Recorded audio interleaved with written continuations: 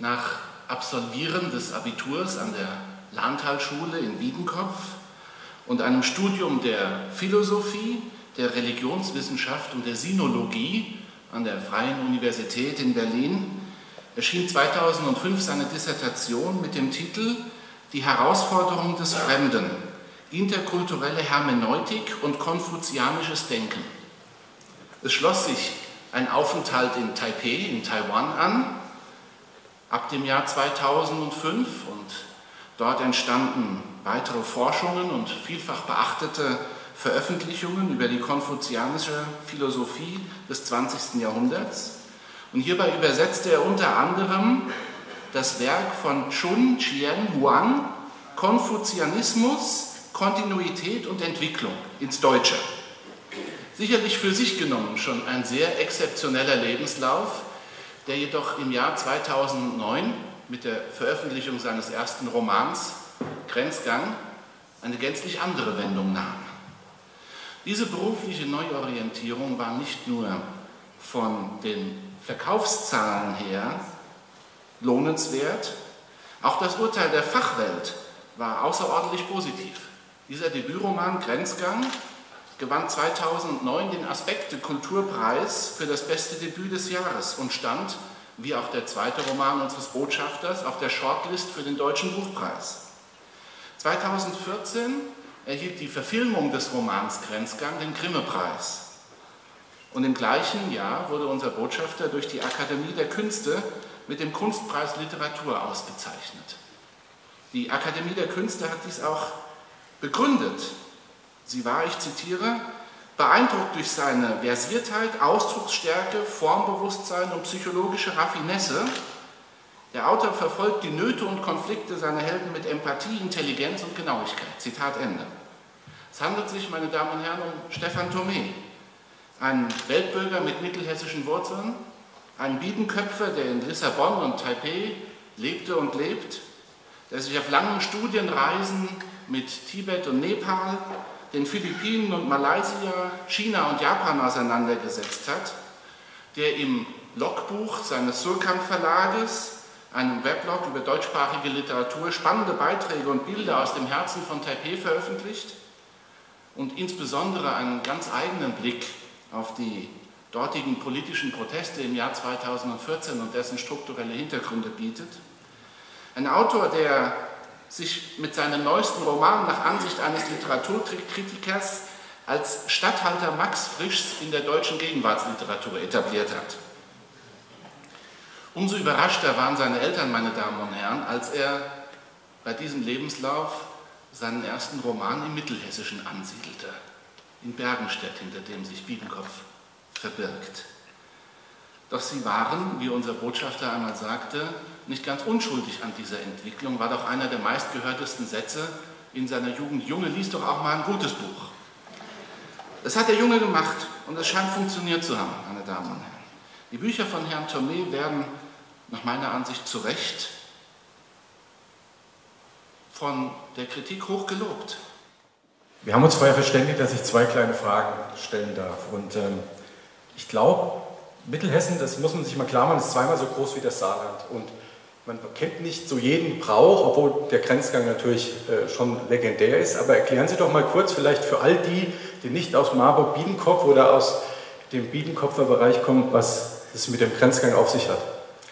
Ähm, der Grenzgang ist ein Heimatfest, ein historisches Heimatfest, dessen Wurzeln unklar sind. Sie reichen weit zurück, aber man weiß gar nicht ganz genau, wie weit eigentlich. Das Besondere an dem Grenzgang ähm, ist ein Umstand, den ich mir in dem Buch zunutze gemacht habe. Der Grenzgang wird alle sieben Jahre gefeiert. Ähm, an drei Tagen, drei aufeinanderfolgenden Tagen, äh, laufen die Bewohner Biedenkopfs oder alle, die mal Bewohner Biedenkopfs waren oder sich vielleicht mit dem Gedanken tragen, mal Bewohner Biedenkopfs zu werden, alle äh, aus der Region laufen an drei aufeinanderfolgenden Tagen die Grenzen des Ortes ab mit Musik, mit Bier, mit, äh, mit Spaß und äh, in, in, guter Laune. Und äh, weil es nur alle sieben Jahre stattfindet, hat es äh, in dem Ort einen sehr großen Stellenwert, weil man eben sehr viel Zeit hat, sich darauf zu freuen, bis er das nächste Mal kommt. Und äh, im Buch habe ich mir diesen, diesen Umstand zunutze gemacht, dass ich eben aus dem Leben meiner beiden Protagonisten in diesen sieben Jahresschritten erzähle. Also immer auf ihr Leben gucke, sieben Jahre, 14 Jahre, 21 Jahre äh, später, weil sich im Laufe eines äh, Menschenlebens im, innerhalb von sieben Jahren irgendetwas geändert hat und man, wenn man kurz punktgenau an diesem Fest drauf guckt, vielleicht äh, ein Gespür davon bekommt, was sich in der viel größeren Zeitspanne währenddessen getan hat. Im Buch ist es ein bisschen anders, wir haben vorhin darüber gesprochen. Der Protagonist, ich nenne ihn jetzt Nachnamen weiß ich nicht, Thomas. Thomas Weidmann. Thomas Weidmann fährt von Berlin nach Werkstatt. Und im Film gibt es eine Szene, auf die habe ich Sie vorhin angesprochen, da fragt ihn seine Freundin, glaubst du wirklich an diese Verbundenheit, Wald, Heimat und kühles Bier? Das steht nicht so im Buch, da ist es ein Telefonat, wir haben es vorhin kurz besprochen. Wie geht es denn Ihnen? Ähm, Fragt man Sie auch, wenn Sie mal wieder hierher kommen? Und fragt man Sie auch nach Wald und kühlem Bier oder solchen Dingen? Oder wie ist das für Sie? Nach Wald? Ja, man fragt mich manchmal wieder, also ich wohne in den letzten Jahren schwerpunktmäßig in, in Taipei, also sehr weit weg von hier in, einem, in einer Weltgegend, wo man keine sehr konkrete Vorstellung von Mittelhessen hat, meistens. Und äh, deshalb fragt man nicht so spezifisch, wird da kühles Bier getrunken, sondern ähm, also das setzt man voraus, da es ja in Deutschland ist.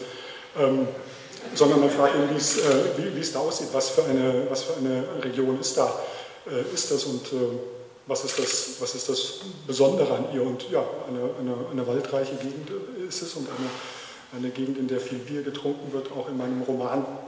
Insofern, äh, ich weiß nicht, ich habe gerade im Hinterkopf den Satz ausprobiert, ob ich daran glaube. Kann man an kühles Bier glauben? Ich weiß es nicht, aber genießen kann man es und ähm, äh, insofern sind das, äh, sind das Dinge, die auch ich genieße. Wenn ich, äh, wenn ich für in letzter Zeit immer nur kurz, aber gerne wieder hier in der Region bin. Also Herr Peters von der Licher Brauerei ist da und ich kann sagen, wir hier glauben an gutes Bier. Also, und wir werden es nachher auch probieren können. Ähm, Herr Tobi, eine letzte, eine äh, letzte Frage. Sie haben es schon gesagt, oder wir haben es in der Laudatio jetzt, sind wirklich in der Welt unterwegs gewesen, zu Hause, glaube, mehr in, äh, im Ausland gewirkt als hier.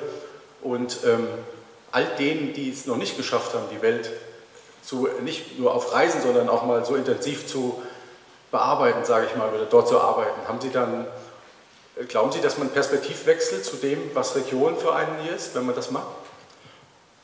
Ich glaube schon. Also die, die die äh, Dinge, die, mit denen man aufgewachsen ist, die einem selbstverständlich sind, weil sie nie anders waren und weil man sie nicht anders kennengelernt hat, die verlieren diese, diese Selbstverständlichkeit, wenn man eben in anderen Regionen sich aufhält und mit anderen Selbstverständlichkeiten konfrontiert wird. In meinem Fall, ich habe die ersten 19, äh, 20 Jahre meines Lebens äh, im Biedenkopf verbracht, von Urlaubsreisen abgesehen, nicht nur im selben Ort, sondern im selben Haus, in dem meine Eltern bis heute wohnen. Also für mich hat Heimat und Zuhause einen ganz, ganz klaren, ganz konkreten Ort und durch die, durch die Aufenthalte in ganz anderen Weltgegenden habe ich natürlich einen, einen, einen anderen Blick und finde Dinge, die ich vorher nicht hinterfragt habe, jetzt habe ich eine Möglichkeit, das zu, zu tun, was die Antwort noch nicht vorwegnimmt. Also das kann sowohl äh, in eine kritische Haltung münden, dass man sagt, das könnte ja hier auch könnten Dinge anders gemacht werden. Es kann aber auch genau das Gegenteil äh, passieren, weil man, wenn man sich in der Fremde aufhält, immer irgendwann feststellt, dass man Dinge vermisst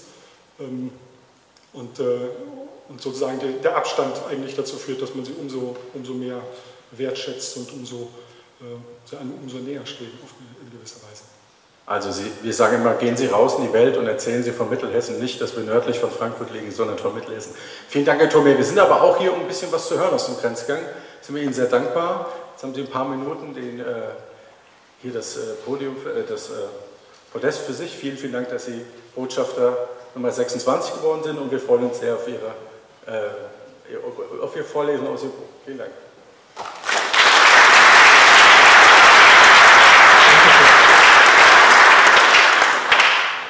Ja, vielen Dank. Ich wurde gebeten, einen ganz kurzen Ausschnitt, nur zweieinhalb Seiten, ähm, aus einem meiner Bücher vorzulesen und mit dem Zusatz war die Bitte versehen, es möge einen Bezug zur Region geben. Also habe ich zu meinem ersten schon erwähnten Buch Grenzgang gegriffen und erspare mir weitere Vorbemerkungen, indem ich einfach die ersten beiden Seiten vorlese. Sie spielen, Sie haben es gerade schon gehört, in einem fiktiven Ort, Bergenstadt, der meinem Geburts- und Heimatort Büdenkopf nachempfunden ist. Trotz allem denkt sie, Der Garten ist ein Traum. Von Osten her brechen Sonnenstrahlen durch die Ligusterhecke, legen sich waagrecht über aufblühende Beete und nehmen die Stämme von Birken und Kastanien in Besitz. Eine Stille aus Vogelgezwitscher und Insektengesumm füllt die schattenkühle Luft des beginnenden Tages und lässt alle anderen Geräusche verblassen. Verkehr auf der Hauptstraße und Schülergeschrei unten im Ort. Ein Netz aus weißem Tau bedeckt die Wiese, löst sich langsam auf, wo Sonnentupfer durch das Blattwerk fallen und beteiligt sich am Wechselspiel von Licht und Schatten. Schmetterlinge umgarnen den Flieder in seinem blauen Tongefäß. Im Morgenmantel steht Kerstin auf der Terrasse und drückt sich die Zeigefingerspitzen gegen die Schläfen.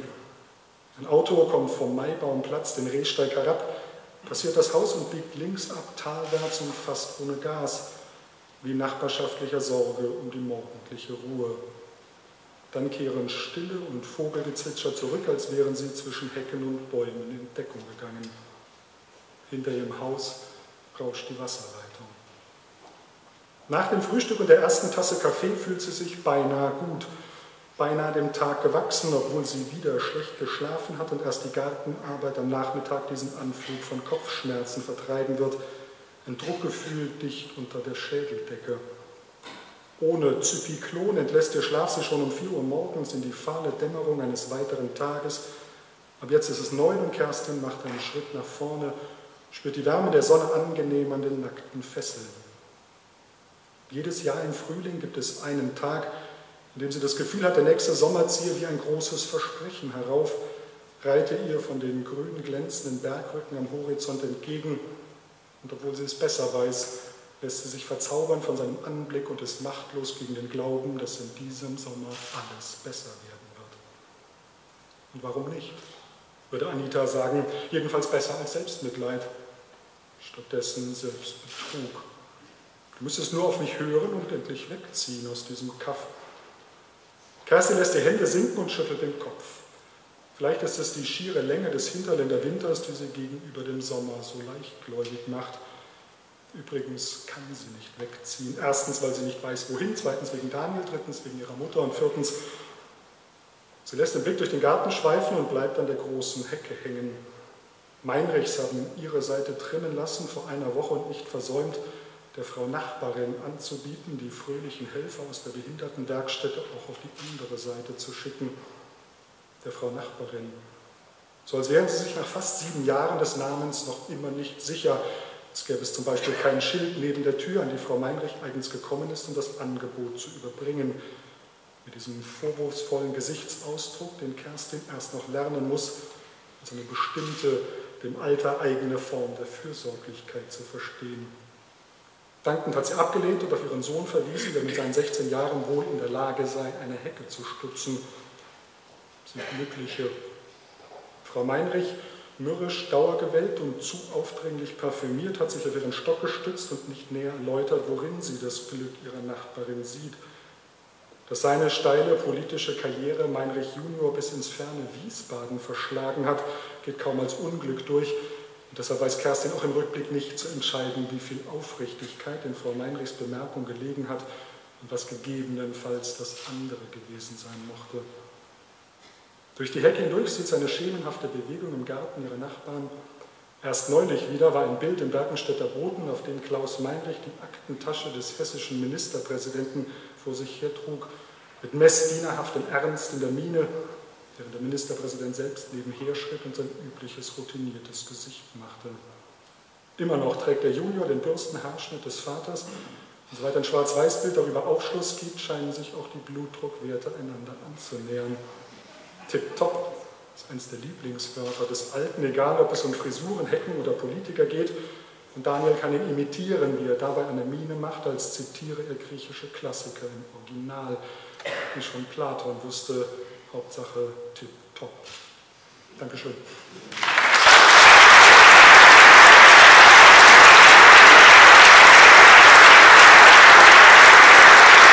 Meine Damen und Herren, der neue Botschafter Stefan Vogel.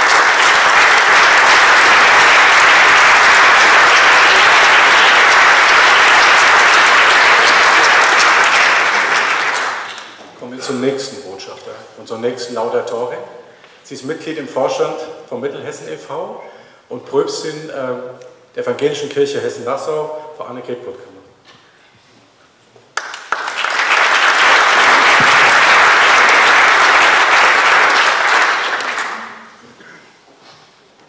Meine sehr verehrten Damen und Herren, was würden Sie antworten, wenn Sie in einem Quiz danach gefragt werden, was ist ein Mascher? Ich müsste passen. Mein Mann, der Lederstrumpf gelesen hat, der wusste die Antwort. Der Mann, den ich Ihnen heute als Mittelhessen-Botschafter vorstellen darf, hat solche Mascher trainiert, Hundeschlittenführer, die unter anderem in Eiswüsten Rennen veranstalten. An sich ist das ja schon bemerkenswert, ein Hundeschlittenführer-Trainer aus Mittelhessen. Aber ich darf Ihnen schon jetzt verraten, es kommt noch besser. Unser Mittelhessen-Botschafter ist 1984 geboren. Er stammt aus, stammt aus Lahnau im Lahn-Dill-Kreis. Das ist eine Region, die, das wissen Sie alle, sich nicht gerade dadurch auszeichnet, dass es dort extrem heiß ist und extrem kalt ist es dort auch nicht und extrem steil geht es da auch nicht zu.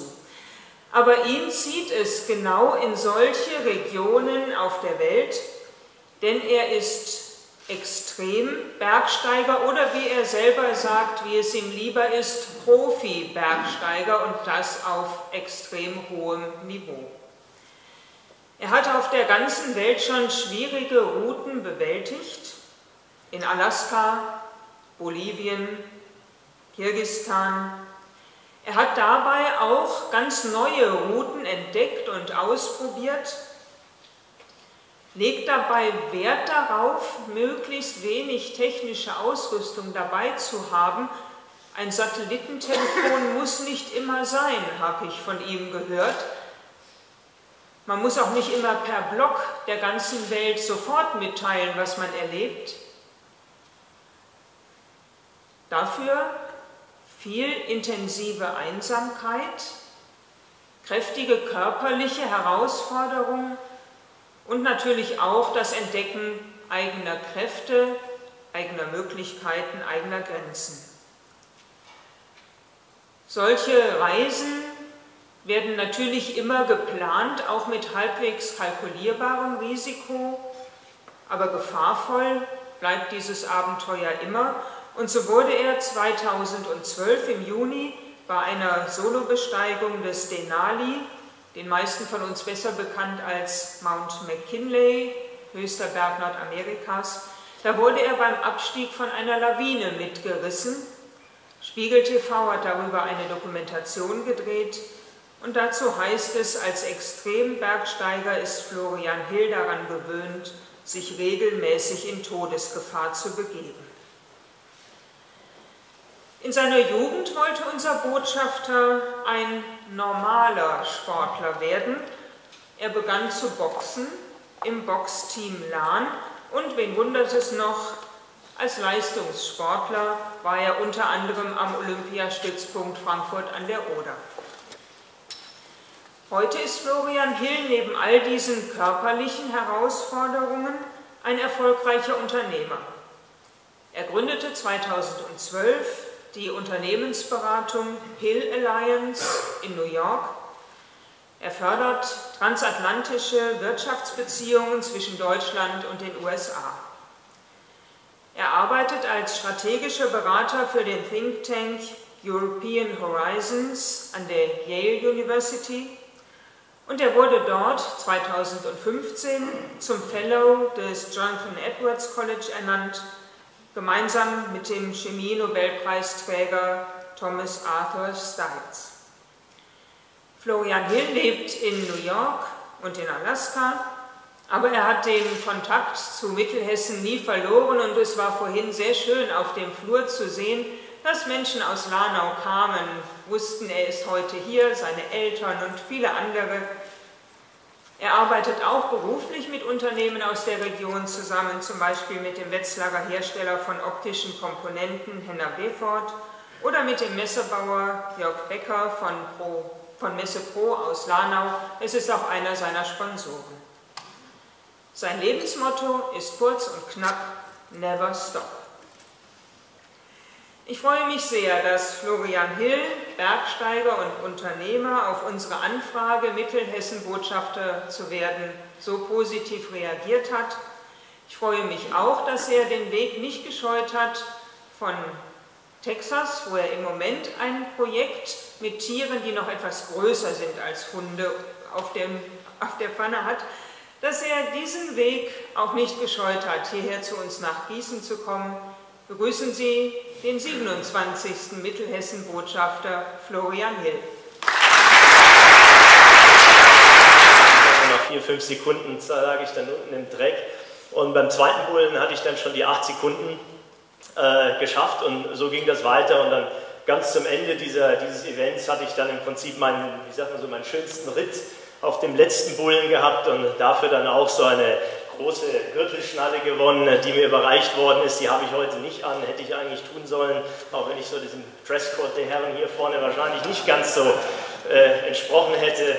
Ähm, ja, also das, das war, ob es jetzt wirklich ein Projekt ist, ich hatte vor einigen Jahren, äh, ist mir das in den Kopf gekommen, es war auch wieder so eine Kombination aus äh, äh, ja, äh, Mensch, Natur und auch sehr ähm, ja, sehr archaisch, was vielleicht in der modernen Gesellschaft äh, überholt klingen mag. Ich habe mich natürlich sehr eng auch mit diesem Thema Tierschutz beschäftigt. Ich muss, muss mittlerweile sagen, dass ich das Gefühl habe, diese Bullen, also diese professionellen Bullen, auf denen ich geritten bin, die haben zum Teil ein besseres Leben als die äh, Katzen und Hunde meiner Kumpels. Ähm, das sind zum Teil millionenschwere Tiere, die dann zur Weiterzucht verwendet werden. Und ähm, genau, das war ja, ob das jetzt mein letztes Projekt war. Ähm, ich habe noch ein kleines Ziel nächstes Jahr beim professionellen Rodeo in Wyoming, soweit das mit meinen geschäftlichen Aktivitäten äh, d'accord geht, äh, noch teilzunehmen. Das wird von ferner Liefen von Gewinn sein, aber ähm, das äh, hat auch bei dem Bullenreiten, glaube ich, äh, wie auch beim Bergsteigen, anders vielleicht wie beim olympischen Boxen, was ich, äh, mit, mit, dem ich eigentlich meine sportliche Laufbahn begonnen habe, ähm, äh, hat die Komponente Gewinn da nicht, nicht viel zu tun. Ähm, Aber jetzt ein harter Cut von diesem neuen Hobby, so nenne ich es mal. Ne? Ähm, wir haben es in der Laudatio schon gehört. Wenn man aus Schlanau kommt, wie kommt man drauf, auf die ganz hohen Gipfel und in die Einsamkeit und diese extreme Situation zu kommen? Also ich habe mich gefragt, waren Sie mit Ihren Eltern am Dünsberg unterwegs oder irgendwie, äh, haben Sie das schon irgendwie hier gelernt? Woher kam diese, dieses Bedürfnis, diese extremen Dinge zu tun? Hm, das ist also die Frage, kriege ich sehr häufig gestellt, gerade von Menschen natürlich aus der Region. Ähm, das ist schwer zu erklären. Ähm, vielleicht auch, äh, vielleicht muss man das auch gar nicht erklären. Vielleicht braucht man nicht für alles eine Erklärung im Leben. Ähm, ich hatte irgendwann diese, diesen, diesen inneren Drang, Abenteuer zu erleben und zu leben und bin da auch ein relativ äh, ja, im, in der Nachbetrachtung relativ radikalen Weg gegangen. Ähm, ich hatte mal in einem Interview zur National Geographic gesagt, die Sehnsucht ist meine Krankheit. Das war ein sehr ähm, ein bold Statement, wie man das in Amerika sagen würde. Und ich glaube, das äh, wird mich wahrscheinlich auch mein Leben so begleiten, ähm, mit, mit, mit äh, Abänderungen. Man merke schon, man wird auch älter momentan. Also mittlerweile bin ich dann auch 32, ist noch nicht so alt, aber für einen Leistungssportler, meine Damen und Herren, fängt die Midlife Crisis bei 30 an. Da habe ich einen Vorschlag für Sie, Herr Hell. Wir, haben, wir sind in der Region, das wissen viele gar nicht, mit fünf Mittelgebirgen. Also ich sage es mal so, in 30, 40 Jahren können Sie hier abtrainieren, kommen Sie zurück und machen die schönen Wanderungen. Da gibt es auch hier im Raum einige, die sich richtig gut auskennen mit den Wanderwegen.